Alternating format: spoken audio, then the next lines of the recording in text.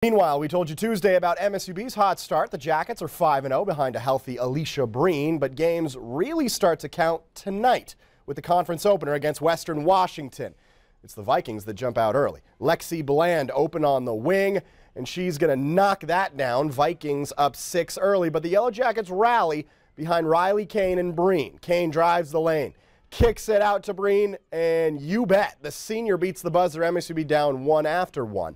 Second quarter, they go on an 11 0 run. Kane beats the double team. Sees the lane, off the glass, 18 points and six assists for the Red Lodge product, but the show belonged to Breen. Steele, the other way, drives the lane, fakes the pass, faked out the defender, and she goes for 31 points.